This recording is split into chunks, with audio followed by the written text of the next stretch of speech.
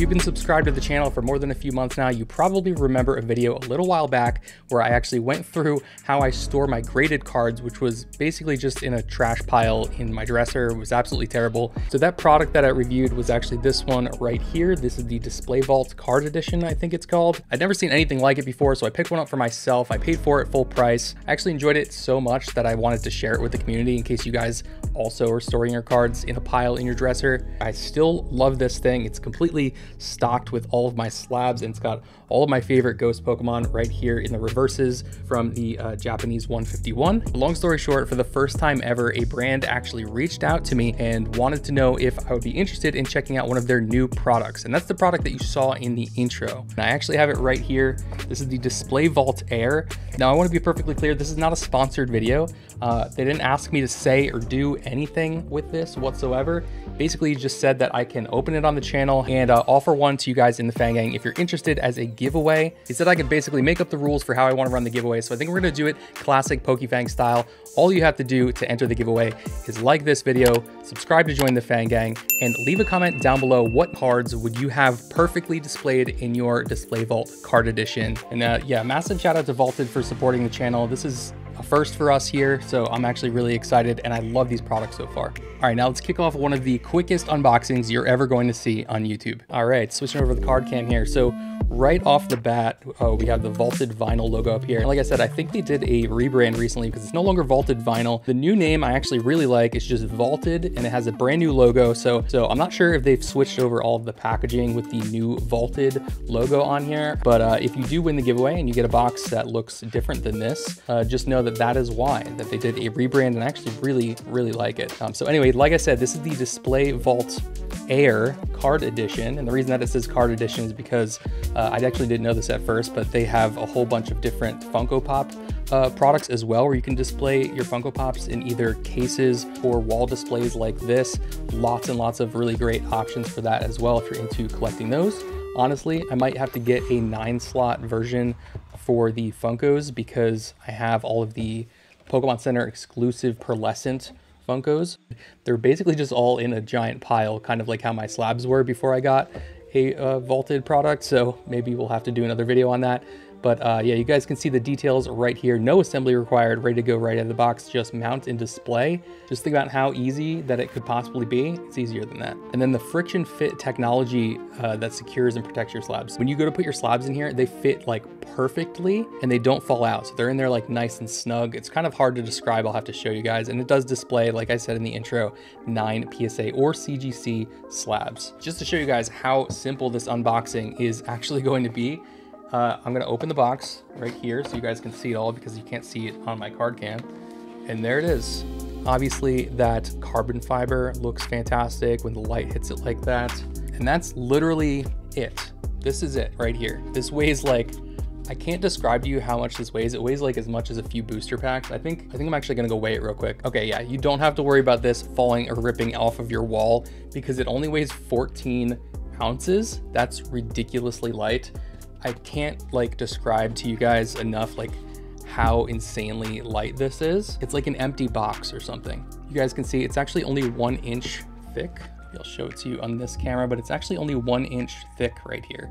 So it's probably hard to see because my black background, but yeah, barely takes up any space. You don't have to worry about, you know, anybody you live with complaining about this thing taking up too much space because it's literally thinner than most picture frames. So this thing is really nice. And to be honest with you, I didn't expect this, but the front details of this carbon fiber are really, really nice. Like the way that the light hits it, obviously you guys can see how nice that is, but I didn't expect the entire back to also be carbon fiber. That's like, I don't know why that's necessary, but to be honest with you, I actually think that's low-key a great feature because if you didn't want to uh, drill holes in your walls, maybe you live in an apartment, you're not allowed to drill holes in your walls, uh, maybe you can use those command strips on the back of this and mount it. I don't know, that's not suggested in the uh, instructions or anything like that, but I would imagine you could based on how ridiculously light this thing is. So basically it comes with the Display Vault Air unit itself, which like I said, is very, very small, weighs basically nothing. It also comes with four mounting screws, super straightforward and simple. There are pre-drilled holes in the top corners here. I don't know if you can see that or not. Holes in the top and bottom, and they're sunken in there so you don't have to worry about them damaging your cards, which is pretty nice. And then there are some instructions here, which are very straightforward. It's basically just basically just screw it into the wall, uh, obviously before you put the cards in it. And uh, that's pretty much it. Use a level uh, if you want it to be nice and level. So I'm gonna show you guys real quick how you actually put the cards in here and what that's like. So I'm actually gonna grab some of my slabs out of my uh, display vault case and throw them in here so you guys can actually see what the experience is in terms of like the friction fit. So I have a CGC 10. This is the Haunter Reverse Holo, just the regular one, not the Master Balls. I actually have those getting ready to get graded. And then what you basically do is you can just put them in there and then just push down and that's it. It's that simple. If you want to get them out, you push down on the top or the bottom and they'll swing out because there are these little divots right here where you can actually press the card into the top or the bottom and it'll come right out. It's that simple. They don't they don't fall out. I'm flipping it completely upside down and they're not going anywhere. So we have that one right there. I'm gonna stick my Gengar right there and then my Gengar VMAX right there. Nice friction fit, not falling out. Having something like this on your wall, especially if you have like a full set of something, like like maybe you have all of the the starters for 151 in different languages or something like that. Like it says on the box, it's ready to assemble. It comes as one solid sheet. It's very, very simple and straightforward. And if you wanted to put a whole bunch of these up on your wall, so that's basically it, guys. It's super, super simple. It's probably gonna be like one of my shortest videos of all time. And they look phenomenal when you put like four or six of these all in a row, which is actually what I'm probably going to do. So I'm not gonna mount this to the wall just yet because in terms of placement, I'm gonna end up moving it eventually when I get more of them. So I'll show you guys in a future video if I do a studio tour when this is finalized. And I have some really big plans for what different types of themes and things I can have in each one of them. So stick around for that. And like I said earlier, we are super grateful for the opportunity to be able to give one of these away to someone here in the Fang Gang. Really, really appreciate it. That's an amazing gesture from Vaulted, who is so far, as far as I've experienced, making consistently great products for us collectors here in the hobby. Instructions on how to enter that giveaway were earlier in the video, so go back and check those out. And don't forget to head over to Vaulted's socials and show them lots and lots of love and appreciation. If you guys like this video and you'd like to see me review more products that pertain to the hobby, Keep an eye on the description of my upcoming videos. That's where I announce my giveaway winners.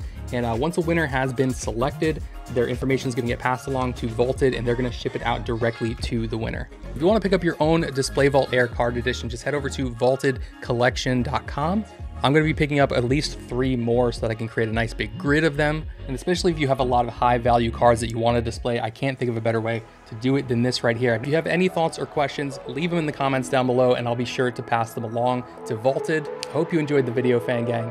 I'll catch you in the next one. And as always, happy haunting.